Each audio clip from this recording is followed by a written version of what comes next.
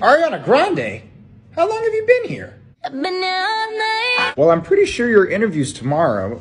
You know what? That doesn't matter. We'll just get started. So, what have you heard about our company? Oh, I'm sorry to hear that, but thank you for being honest. So, how would you describe your prior work experiences?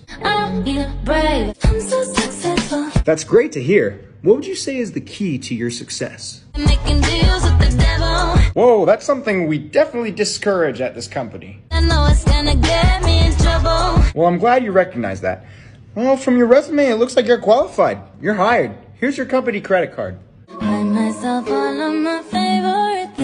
Whoa, that's definitely not permitted. You can only use the company credit card for business expenses. Whoa, wait, are you quitting? Yeah. But it wasn't a match.